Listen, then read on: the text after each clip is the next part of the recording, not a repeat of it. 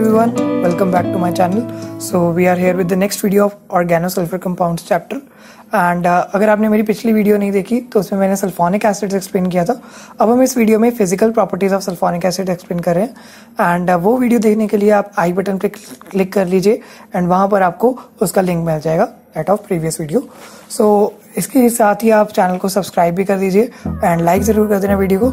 और अगर कोई प्रॉब्लम आती है तो कॉमेंट सेक्शन में मैंशन करिएगा।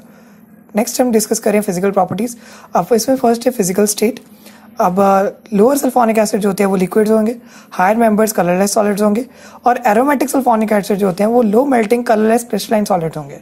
सल्फोनिक एसिड जो होते हैं हाईली हाइग्रोस्कोपिक होते हैं means they are water attracting इसलिए उन्हें स्टोर करा जाता है और उनके सॉल्ट्स की प्रेजेंस में इनको यूज़ किया जाता है.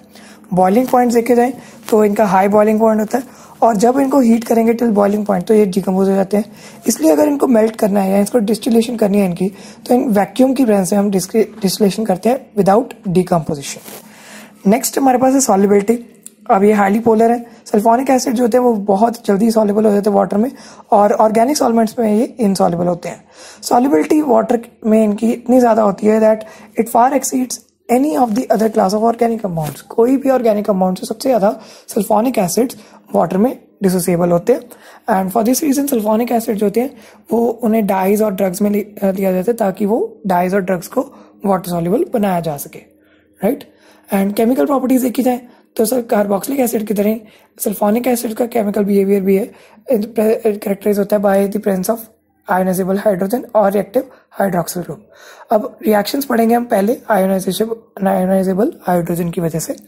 अब इसमें पहली है एसिडिटी सल्फोनिक एसिड बहुत स्ट्रॉन्ग एसिड है compare to sulphuric acid because ये वाटर में जब इन्हें डालते हैं तो ये कंप्लीटली हाइड्रोलाइज हो जाते हैं। पहले ये सल्फोनेट आयन बनाते हैं S R S O three negative और ये हाइड्रोनियम आयन बनाएँगे।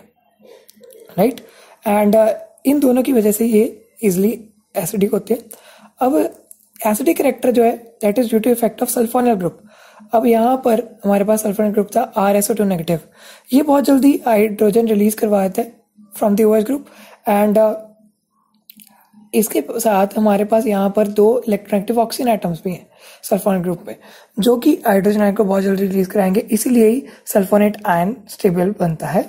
एंड सल्फोनेट आयन जो है दैट इज़ ऑल्सो स्टेबल क्यों स्टेबल है? बिकॉज़ इसमें थ्री कॉन्ट्रीब्यूटिंग स्ट्रक्चर्स का रेजोनेंस हाइब्रिड है। यहाँ पर देखें तो यहाँ पर तीनों ऑक्सीजन एटम्स जो है, उनमें नेगेटिव चार्ज जो है मूव कर रहा है। कभी ये पर, कभी यहाँ पर और कभी यहाँ पर तो तीनों ऑक्सीजन में नेगेटिव चार्ज मूव कर है। और इसलिए इसका रेजोनेंट हाइब्रिड जो है that shows partial double bond character of three oxygen atoms so ये बहुत ज़्यादा स्टेबल होगा। इसी वजह से ही ये बहुत जल्दी बन जाता है और it is strongly acidic in nature so इस वजह से ये स्ट्रांगली एसिडिक होते हैं sulphonic acids right and then अगर हम सल्फोनिक एसिड्स की एसिडिटी को कार्बोक्सिलिक एसिड से कंपेयर करें तो हम देखते हैं कार्बोक्सिलिक एसिड में ओ OH ग्रुप जो होता है, वो acyl group R C O से अटैच होता है जिसमें कि एक ही ऑक्सीजन था। अब कार्बोक्सिलिक कार्बोक्सिलिक आयन जो होता है उसमें नेगेटिव चार्ज होता है वो डिस्पोज होता है दो ऑक्सीजन आइटम्स पर। एंड uh, इसी वजह से यहाँ पर देखो दो ऑक्सीजन आइटम्स पर ये इसका नेगेटिव चार्ज डिस्प्लेस हो रहा है डिस्पोज हो रहा है। और इसी वजह से कार्बोक्सिलिक के कंपेरेटिवली जो सल्फोनेट आयन में तीन ऑक्सीजन आइटम्स पर नेगेटिव चार्जेस पर होता है इसी वजह से sulphonic acids are more acidic than the carboxylic acid तो उसमें लोअर स्टेबिलिटी है, इसमें बहुत ज़्यादा स्टेबिलिटी है। नेक्स्ट है हमारे पास सॉल्ट फॉर्मेशन सल्फोनिक एसिड जो होते हैं, वो बहुत जल्दी सॉल्ट बनाते हैं बिकॉज़ ये एसिड की तरह बिहेव करेंगे? एंड अगर इसको हाइड्रोक्साइड कार्बोनेट या बाय कार्बोनेट के साथ रिएक्ट करें तो ये सॉल्ट बनाते हैं।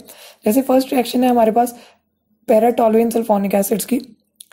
एन के साथ रिएक्शन पर सॉल्ट बनाएँगे, जैसे ये सोडियम पैराटोलिन सल्फेट बनाएगा राइट एंड नेक्स्ट है हमारे पास N A two C O three यहाँ पर भी ये सॉल्ट बनाएँगे sodium benzene sulphonate and with the evolution of carbon dioxide so ये हमारे सल्फोनिक एसिड के कंपाउंड के साथ रिएक्शन बन के, होके ये सॉल्ट इजिली बना सकते हैं। Next is a formation of functional derivatives अब ऑक्सीजन आइटम्स में क्या होता है? सल्फोनेट ग्रुप है। एंड दो ऑक्सीजन एटम्स हैं, जो कि फैसिलिटेट करते हैं ionisation of hydrogen atoms right hydrogen को फटाफट आयोनाइज करवा देते हैं, पर लेकिन ओ ग्रुप की आयोनाइजेशन बहुत डिफ़िकल्ट हो जाती है। तो अगर ओ ग्रुप को रिप्लेस करना है तो हम कैसे रिप्लेस करेंगे? With the help of thionyl chloride और फॉस्फोर क्लोराइड तो फॉस्फोरस के क्लोराइड से थायनल क्लोराइड से हम ओ ग्रुप को रिप्लेस कर सकते हैं, ताकि हमारे पास सल्फोनिल क्लोराइड बने। और जो एस्टर्स और अमाइड्स होते हैं, वो डायरेक्टली नहीं प्रिपेयर कर सकते, पर लेकिन उनको हम सल्फोनिल क्लोराइड से प्रिपेयर कर सकते हैं। अब इनके रिएक्शन देखते हैं। पहले सल्फोनिल क्लोराइड अब सल्फोनिक एसिड जो है थर्नल क्लोराइड के साथ रिएक्ट कर सकते हैं या फिर फॉस्फोरस के ट्राई और पेंटाक्लोराइड के साथ रिएक्ट कर सकते हैं, ताकि सल्फोनिल क्लोराइड बना दें। और अगर हम देखें, जो रिएक्शन थायनल क्लोराइड की प्रेजेंस में होगी, वो उसमें हमें डायमिथाइल फॉर्मेमाइड यूज़ करना पड़ेगा डीएमएफ फॉर दी रिएक्शन ताकि ये रिएक्शन जो है इजिली हो सके। एंड यहाँ पर देखो सल्फोनिक एसिड है। ये रिएक्शन बहुत इजी है बिकॉज़ पीसीएल फाइव हमने सिंपली कार्बोक्सिलिक एसिड वाली रिएक्शन करनी है। ओ OH ग्रुप की जगह पर सिंपली यहाँ पर सी एल एड हो जाता है एंड बाकी कंपाउंड्स सेपरेट हो जाते हैं। सो so, ये रिएक्शन आइसोलेस्ट के रिटर्न कर लीजिए ताकि आपको अच्छे से याद हो जाए। और समझने वाला बस इसमें यही कि सी एल यहाँ पर ट्रांसफ़र हुआ एच सी एल बना और P O C L three बना। एंड सेकेंड में सी एल यहाँ पर ट्रांसफ़र हुआ एसओ टू बनी एंड एच सी एल बना। सो so, ये इजी रिएक्शन है जो कि हमने पहले भी पढ़ी हुई है। नेक्स्ट है फॉर्मेशन ऑफ़ सल्फोनिक एस्टर्स अब इनको मैंने अभी बताया था सल, आ, हम सल्फोनिल क्लोराइड से बनाएँगे। सो पहले एस्टर बनाएँगे। इथेनॉल डालते हैं हम सल्फोनिल क्लोराइड में तो हमारा इथाइल बेंजीन सल्फोनेट जो हमारा एस्टर बन जाता है। और अगर सल्फोनिल क्लोराइड में अमोनिया डालते हैं तो हमारा अमाइड बन जाता है that is benzene sulphonamide so that is our reaction next है सल्फोनिक एसिड ग्रुप्स की रिएक्शन करनी है अब। अब सल्फोनिक एसिड ग्रुप को रिप्लेस करना है तो बहुत सारी रिएक्शन होती हैं that SO three group H को रिप्लेस करने के लिए तो बहुत सारे ग्रुप्स लगा सकते हैं, जैसे हाइड्रोजन लगा सकते हैं ओ OH लगा सकते हैं साइनाइड लगा सकते हैं, या फिर एन एच टू भी लगा सकते हैं। अब फ़र्स्ट है replacement of SO three H by hydrogen ये डीसल्फोनेशन रिएक्शन कहते हैं। इसमें क्या होता है?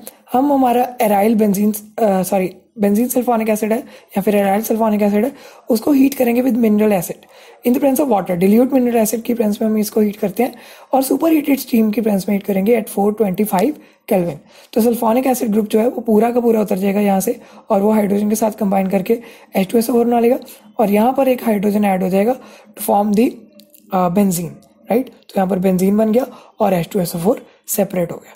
सो इसे डीसल्फोनेशन कहते हैं बिकॉज़ सल्फोनिक ग्रुप उतर गया। एंड uh, अगर इसका मैकेनिज्म देखा जाए ये रिवर्सिबल प्रोसेस है सल्फोनेशन का। एंड फ़र्स्ट वाटर के साथ जब रिएक्शन होती है तो भी हमारे पास सल्फोनिल बेंजीन सल्फोनिक एसिड बनता है। और अगर एच प्लस के साथ रिएक्शन होती है तो भी हमारा बेंजीन सल्फोनिक एसिड बनता है। एंड uh, यहाँ पर जो बेंजीन सल्फोनिक एसिड है उसमें कैसे रिएक्शन होती है? Because H ion separately attach हुए and SO three negative separately attach हुए।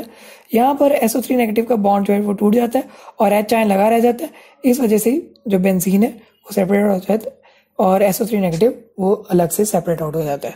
So that is our mechanism अब नेक्स्ट डिस्कस करेंगे replacement of SO three H by O H अब ओ एच से रिप्लेस करने के लिए हम क्या करेंगे? सिंपली बेस डालेंगे एन को एंड हमारा सोडियम सॉल्ट डालेंगे सल्फोनिक एसिड का। एंड हमारा क्या बन जाएगा? यहाँ पर sodium salt of that is benzene sodium phenoxide बन जाएगा right and N A two S O three बन जाएगा साथ में। एंड अगर यहाँ पर ये सोडियम फिनॉक्साइड है इसकी हाइड्रोलिसिस करें तो हमारे पास सीधा फिनोल आ जाता है राइट सो so, ये पहले हम क्या करते हैं बेस के साथ रिएक्ट करके फिर एसिडिफिकेशन कर देते हैं इसकी राइट सो so, ये रिएक्शन जो है बहुत अच्छा मेथड है for the preparation of phenols also अब नेक्स्ट है replacement of SO three H by C N so cyanide group से रिप्लेस करना हम सिंपली क्या करेंगे? सोडियम सॉल्ट में हम एन डाल देंगे या के डाल देंगे फ्यूजन कर देंगे एंड हमारे पास सही एन ग्रुप लग जाएगा और N A two S three separate हो जाएगा और यहाँ पर बेंजोनाइट्राइल ये बना है। नेक्स्ट है अमाइनो ग्रुप से सेपरेट uh, हमारे से करनी है रिप्लेसमेंट अब इसमें हम क्या करेंगे? सोडामाइड डालेंगे एन एच टू एंड इसमें क्या करेंगे? सोडियम सॉल्ट था हमारे पास तो एसओ थ्री एन सेपरेट हो जाएगा, वहाँ पर एन लग जाएगा और सोडियम सल्फाइड सेपरेट हो जाएगा and this is our paratoluidine next है एस ओ थ्री एच को एस एच से रिप्लेस करना है राइट थायो ग्रुप से रिप्लेस करना है। एंड यहाँ पर क्या करेंगे? सोडियम सॉल्ट लेंगे एन एच एस लेंगे और यहाँ पर हमारा थायोफिनॉल बन जाएगा एच एस यहाँ पर लग जाएगा in the presence of S O three N A and N A two S O three separate out हो जाएगा। And the last reaction is reaction with aromatic nucleus ये simply usual nucleophilic substitution reaction कराएगा electrophilic substitution reaction कराएगा। And ये हमें पता है that is sulphonic group is para sorry meta directing group तो ये मेटा ट्रैक्टिंग कंपाउंड बनाएगा, जैसे अगर हेलोजिनेशन करें तो ब्रोमीन जो है वो पैरा ग्रुप पे मेटा ग्रुप पे लगेगा। एंड अगर नाइट्रेशन करें तो नाइट्रो ग्रुप भी मेटा ग्रुप पे लगेगा। और अगर सल्फोनेशन करें तो प्रेंस ऑफ़ वोलियम तो ये सल्फोनिक ग्रुप भी uh, meta group will so that is our reactions of aromatic nucleus. So that was all about the chemical properties of sulfonic acids. And in the next video we have the last topic of our chapter. And uske baad hum next chapter start karenge that will be IR spectroscopy. Till then stay tuned and do subscribe to our channel for more videos. Thank you.